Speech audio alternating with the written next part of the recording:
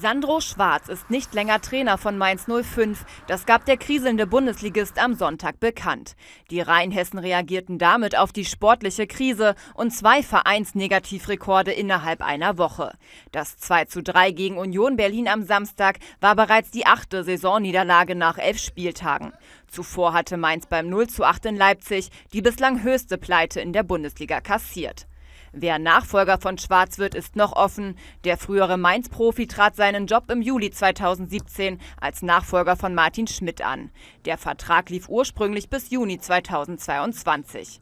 Nach Nico Kovac bei Bayern München und Achim Bayer-Lorzer beim 1. FC Köln ist Schwarz der dritte Coach, der in der laufenden Saison vorzeitig gehen musste.